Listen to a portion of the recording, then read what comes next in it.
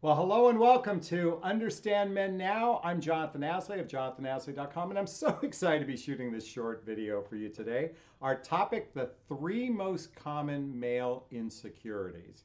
Now, before we get started, if this resonates with you and you feel like you'd like a personal touch, in other words, you'd like some help understanding the male behavior, male perspective, that sort of thing, check out the link below to schedule a one on one call with me. Okay, let's just jump right in. Those three, wait, three that's six. We'll make it three uh, most common male insecurities. You know, I'm laughing about this, but I can tell you that this scares the heck out of me sharing this with you personally because um, this is actually me being vulnerable because I actually experience what exactly I'm sharing. So what I'm about to say is very common. Not all men share this insecurity. All men share these insecurities, but the vast majority of men have insecurities, and it's all centered around feeling rejected. Okay, feeling rejected, feeling unwanted, feeling unloved, that sort of thing. In fact, most human beings' greatest fear is I'm not good enough. I'm not likable. I'm not lovable. At some deep core, this happens. In fact, dating triggers the number one emotional health issue, which centers around not loving oneself. This is a very common thing fact, it's one of the reasons why I wrote the book, What the Heck is Self Love Anyway? as a way to be a vaccination to the emotional chaos of not feeling good enough, not feeling likable, not feeling lovable. So, men as well as women have these insecurities and these fears. But I'm going to go deeper into the specifics, those three things that are the predominant ones men fear when it comes to romantic relationships, okay? We're specifically talking about romantic relationships. And the first one happens to be in the bedroom. Many men have an insecurity of whether or not we're going to perform well for you. And this is especially true for men at midlife because the vast majority of men at midlife are taking the little blue pill and we have this fear of not having, you know, getting a hard on, not having erection, having, you know, being able to please our woman. Okay? Now, a lot of men are very myopic. In other words, they're centered on getting themselves off.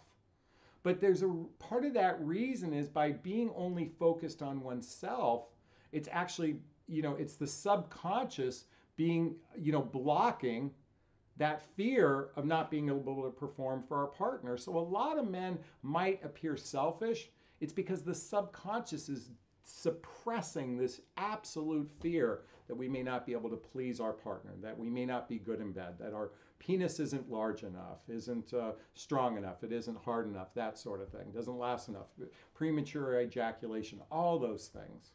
Men have these fears just like women have their own fears when it comes to sex and performance and everything else. So, this is a very common thing, and many, many, many men experience this. Okay? All right, the second one is centers around being a provider protector.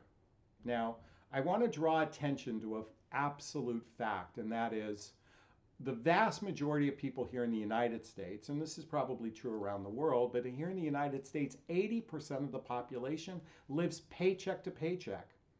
And this is especially even scary right now during a time where there's a, I mean, if you're watching this video during the time of the quarantine and there's significant job loss and everything else centered around what's happening in the world right now.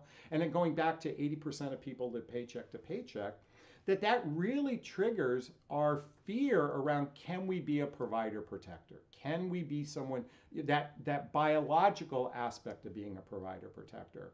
And for a lot of men they experience shame when they're in when they're unable to be that to a partner this is one of the reasons why dating is such a complicated thing. I mean, the reality is is it's expensive to date. It's expensive to go through this proposition. And I know a lot of you women have been conditioned that men are chivalrous and they take the lead and you know they pay for dates and all that sort of thing. But a lot of guys are feeling fear that they have a hard enough time supporting themselves and then are they going to even be capable of supporting you? That's why a lot of men act wishy washy and inconsistent, not because they don't care about you. It's because deep down we have a fear of whether or not we're going to be able to provide and protect because a lot of people aren't approaching the process as teamwork. as teamwork? Or are we a team in this process of getting to know one another? Instead of resting it all on the man's shoulders, and men have, there are a lot of men that have fears around this. I know I personally do, and I've talked to many men. I've been in so many men's groups. I'm in a men's group of over 15,000 men. We've had these discussions over and over, and this is a common thread. Although this is more the subconscious is centered around the provider protector, but this really starts to percolate because what's really going on inside of many men is we feel shame that we're not able to do that. And it's one of the reasons why men can be hot and cold, hot and cold, hot and cold, okay? Because there's a lot of fear and insecurity going on. The third one centers around body image. You know, um, especially men at midlife, they're losing their hair. I mean, I'm blessed. Mom and dad, thank you, thank you, thank That's my mom and dad right there. when they were uh, much younger than me, the thank you gave me a full head of hair. I happen to be six foot two. But so many, I'm, I'm blessed. I'm in that two percentile of men. But the average man is less than five foot ten. You know, it's five nine and a half is the average height. As they age, they start to bald, they start to put on weight, and there's a fear that we're going to be rejected based on our body. And this isn't true of all men, certainly men that are, you know, in that major category or they've built up their self-confidence, but the average guy has fears centered around body image, just like a lot of you ladies do. This is, by the way, this is so hugely common for ladies because women have been objectified so much through advertising and through media and such. And men, on to some level, because of Calvin Klein commercials and that sort of thing, have been objectified as well. So a lot of men have fears of rejection centered around their body as well. And you know, with all three of these, you know, we're we're human beings. We're riddled with insecurities and flaws, and a lot of people fake it on the outside and look like they got their shit together, but inside they're scared to death that they're going to be rejected. This is why I'm such a huge proponent for compassion in the dating process and have compassion for guys and recognize that most men are good guys. They're just bad daters. And most of the time, they're not trying to hurt you or do anything. It's their fears are coming up that cause them to run away or do stupid things. I mean, I've seen, I know myself, I've done so many stupid things because I want a girl to like me that I stick my foot in my mouth a hundred times and then I never get a second date because of it. And I and I know this shit, you know. And by the way, I'm being a little tongue in cheek here, but I'm speaking for all men, not just Jonathon Aslay here. All right, I just shared those three common insecurities.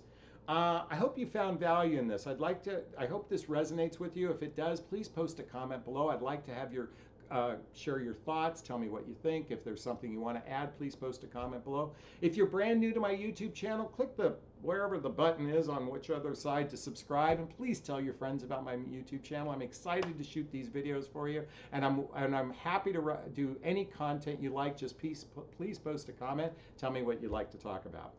Okay, I'm going to sign off this video as I always do, giving you a big, gigantic Jonathon Bear hug if I have your consent. Aw, thank you. Mm. Wishing you a wonderful day. Thanks so much. Bye-bye now.